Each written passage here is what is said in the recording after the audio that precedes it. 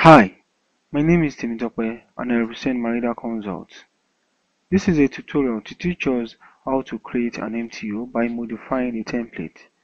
So for us to create the MTO, okay, we select the site we wish to create the MTO for. For example, we wish to create an MTO for all the pipes on that site Maridah Consult.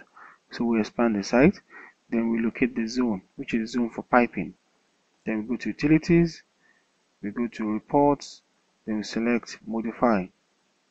Okay, all right. These are all the MTOs the.